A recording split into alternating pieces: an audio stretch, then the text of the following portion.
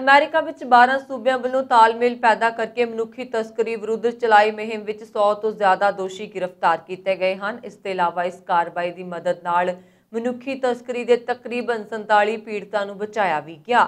ਇਸ ਕਾਰਵਾਈ ਸੰਬੰਧੀ ਮਿਜ਼ੂਰੀ ਦੇ ਪੁਲਿਸ ਅਧਿਕਾਰੀਆਂ ਨੇ ਸ਼ੁੱਕਰਵਾਰ ਨੂੰ ਜਾਣਕਾਰੀ ਦਿੰਦਿਆਂ ਦੱਸਿਆ ਕਿ ਮਨੁੱਖੀ ਤਸਕਰੀ ਨਾਲ ਨਜਿੱਠਣ ਲਈ 12 ਰਾਜਾਂ ਦੀ ਸਾਂਝੀ ਕੋਸ਼ਿਸ਼ ਦੇ ਹਿੱਸੇ ਵਜੋਂ ਅਧਿਕਾਰੀਆਂ ਨੇ 102 ਗ੍ਰਿਫਤਾਰੀਆਂ ਕੀਤੀਆਂ ਅਤੇ 47 ਪੀੜਤਾਂ ਨੂੰ ਬਚਾਇਆ।